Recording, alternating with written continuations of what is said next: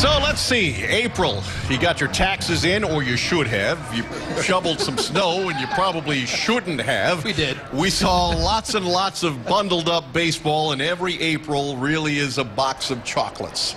The comedian Jim Gaffigan said, What you don't want is that one that tastes like there's toothpaste inside. So let's talk of the April that is now behind us with one evening still to be played, and they are the three words that are important to our female demographic as always.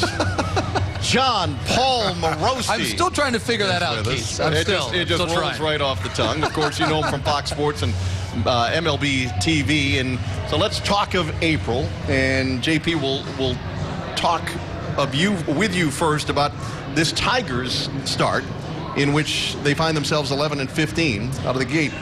Well, John, one name I'm loving right now is Jeimer Candelario. What he has done as a young, switch hitting third baseman, they have found, I believe, the man for the future at that position for the Tigers. Uh, a great trade, of course, last July. And, and C-Mo, I, I love the swing, the balance. I talked today to Ramon Santiago about Jeimer's work ethic, his focus. And, and Ramon believes the word that Ramon used to me, C-Mo, is elite. Yes. He believes he can be an elite player on both sides of the ball and maybe even an all star this year. I'm going to agree with my, my former teammate, Yes. Ramon Santiago.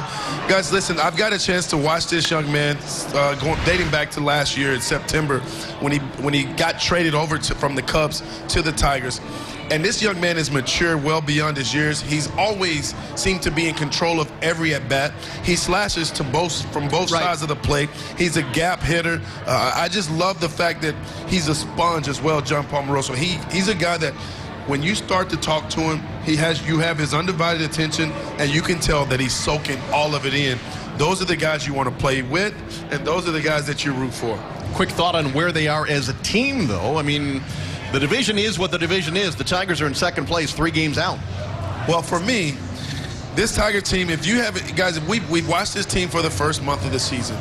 There's one thing that is for sure. That is one thing that is for certain. This team does not quit. JP, they fight. They coming into the season, everybody's talked about this team losing 100 games.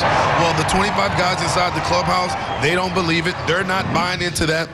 They are looking at each other man to man and saying, listen, if we go out and we play nine hard innings, nine full hard innings every day, they're going to take their chances. And I like it. I like what I'm seeing. Kind of reminds me of that 06 motto of our Yes. Tiger team.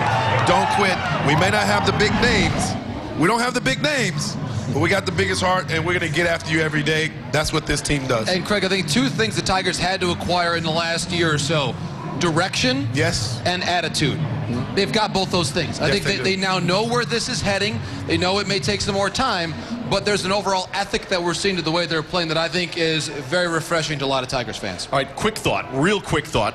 No team that was under 500 on May 1st last year Right. made the playoffs. How much of a disturbing trend is that for the likes of the Dodgers and the Twins and the Nationals? I think for the Dodgers, it's real. I, I'm, with them, I'm looking at their rotation, and certainly Kershaw, we know all about him, but I, I wonder where they're headed long term. The Nationals have to get healthy first with Eaton being on the DL.